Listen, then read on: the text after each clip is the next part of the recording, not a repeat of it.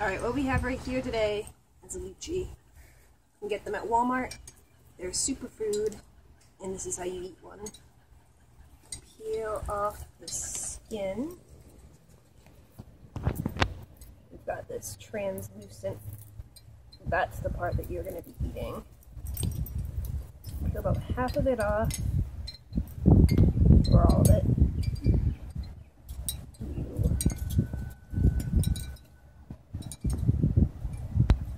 Dig out the seed. Get to it, the seed's poisonous. So I'm gonna dig it out. It's usually a lot neater than what I'm doing right now. Get rid of the seed and enjoy. What does it taste like? Like a really sweet melon mixed with coconut.